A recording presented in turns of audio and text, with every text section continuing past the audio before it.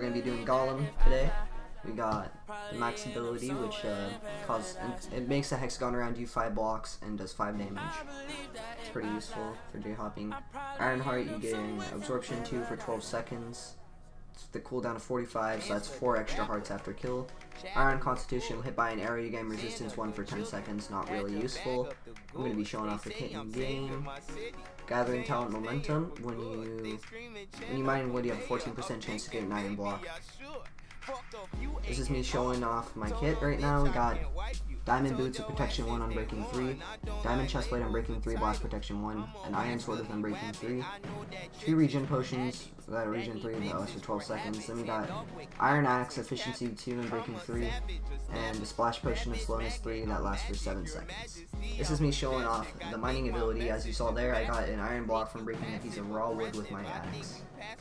And this is me showing off my ability and my after kill effects. Uh, after this next kill, I get absorption. As you see here, it pops. I got absorption and after kill. This is just a thing that you should be doing with Golem. You just dig a hole in their base and uh, you can J-hop. It works really well.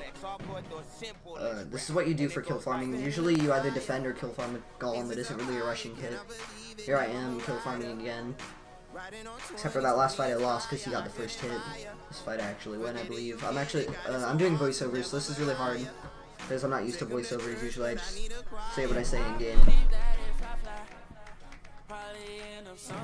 Golem's actually, uh, it's kind of a dig in a hole and hit class. It's not that hard to use, but it's a really great kit overall. I like it. It's fun. And uh, here we are in deathmatch killing a golem. I shouldn't have wasted a resorption right here, because, uh, absorption regen, because, uh, we probably could have used that in deathmatch because I did my potion too late and we lost. So, uh, here we are, fight, here's Simonn actually fighting, I thought this was a good clip, so I thought I would show you guys. Yeah.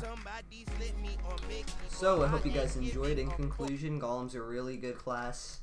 Honestly, it's one of my favorites because it doesn't take much effort to use, and it's great for J-hopping. Uh, like if you guys want to see more of these kit reviews, and thanks for supporting me recently, guys.